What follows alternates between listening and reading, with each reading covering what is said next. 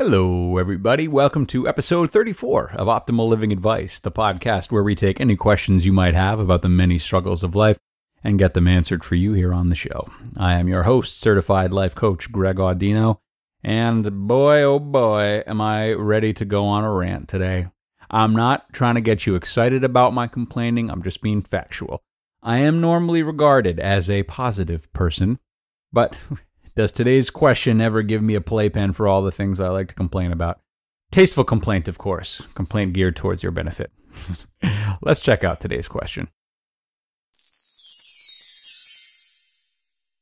I'm an avid listener of the podcast and your website, and it is my opinion that you approach a lot of self help topics differently than some of the bigger names. I like this because as a viewer, I always hear the same ideas repeated. Could you give us your opinion on what are some of the biggest self help myths in circulation? Okay. Nice, nice, unique question. Good one to have here on the show, too. Uh, also, good to be in the presence of a like minded individual who enjoys questioning everything. Hopefully, you deal with the ensuing neuroticism a little bit better than I do. All right, here we go. To me, there are so many myths in self help that I would need a whole new show to cover them all. You guys have to understand that although some of the material is very useful, there are so many schemers in this industry, people that have gotten good at toying with people's vulnerability, playing into what people want to hear, offering false senses of hope, etc. You really need to be careful with the content that you ingest because even the best stuff out there, honestly, can only set you in the right direction. Ultimately, any changes you make to your life have to be made by you. With that in mind, let me dive into what I think are some of the stupidest lies out there right now in no particular order.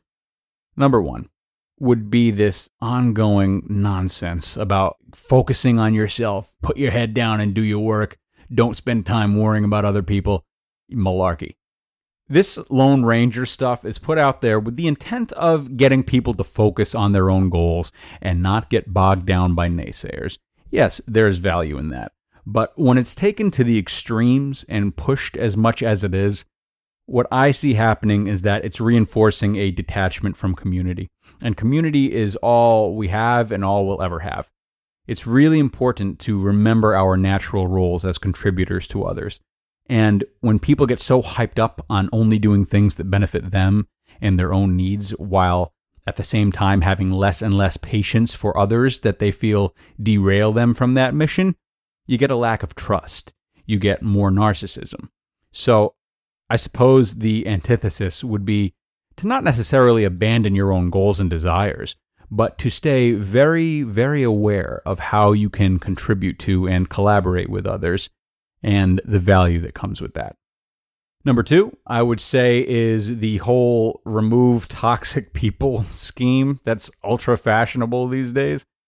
So the intent is to not keep people in your life that don't support you or make you feel bad or whatever. Fine. But again, the levels it's reaching makes the whole thing seem overly aggressive to me.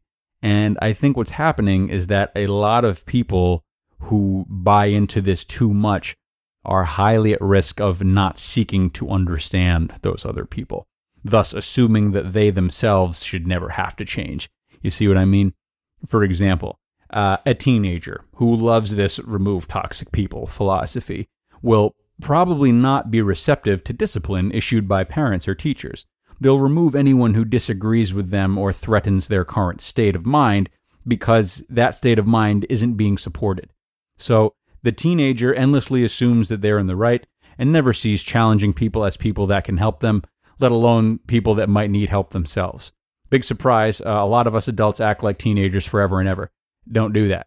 Be careful about who you choose to remove from your life and put a lot of thought into the role you play or don't play with that person beforehand. Number three, the third myth is, you know, always project confidence. what complete nonsense.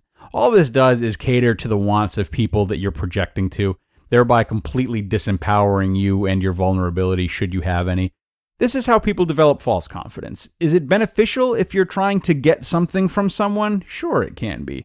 But does it only teach us to feel more and more at odds with the parts of us that we're not confident in? Sure does, and that's a big problem. Confidence is not conditional. Truly confident people are comfortable with their strengths and their weaknesses, and feel free to express both without shame. Forcing ourselves to project or feel anything other than a contrived confidence is only damaging, period. Number four. I'm a little on the fence about this one, but because it is just at every corner these days, something needs to be said. And it's this whole be your own boss trend. Of course, this is mostly applicable for people interested in the business end of self help, which is quite a number of people. But it's being forced onto everyone, and the problem is that not everyone should or can be their own boss. Being one's own boss is great for some and terrible for others. But the thought right now that's being pushed and which people are drinking in is that it's the only way to live, the only way to feel free. That's not correct at all but it's being pushed because money and freedom are sensitive topics for people. So people are reactive to it. And these airport Hilton speakers hosting 10x your income seminars or whatever can easily get their pockets lined. Entrepreneurship has a lot of struggle that is not advertised. And though it can be a good thing, it's worth your time to do a lot of research before considering such a path. So, there are more myths, but again, there's only so much time. What I want to end with instead is one of the self help cornerstones that is not a myth. And just like myths, there are plenty of popular lessons in self help that are legit too. Don't get me wrong. The biggie for me that is not a myth is the practice of gratitude. Regular practice of gratitude, whatever that is to you, is of huge importance. You might have heard me say that what you put into your mind is often what you'll get out of it.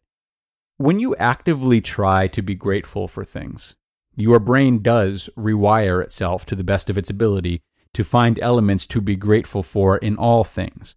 Over time, you start to see that the waiter is bringing you a meal. Not that he took 20 minutes to come to the table and that he spilled your appletini on the way. You start to see that you have a car to drive. Not that you've been stuck in traffic for an hour listening to subpar podcasts on repeat, God help you. You see what I mean? you tailor yourself to recognize how everything is working to your advantage. And that's a recipe for huge, healthy life changes. Less entitlement, less dissatisfaction, less feeling offended, less resentment, etc. All very, very important things that can be acquired by a very simple and healthy practice that is not full of lies.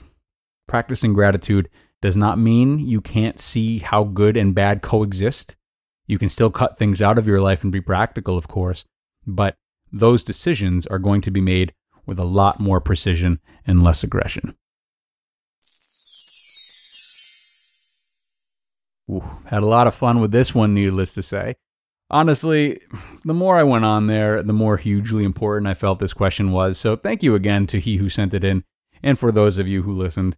Of course, these are just my opinions, mind you, but in an industry that sort of lives and dies by how well it capitalizes on people's feelings, it's important for those interested in it to stay educated, do research, and formulate solid opinions rather than just go with whatever is thrown in one's direction. So I encourage you all to do that.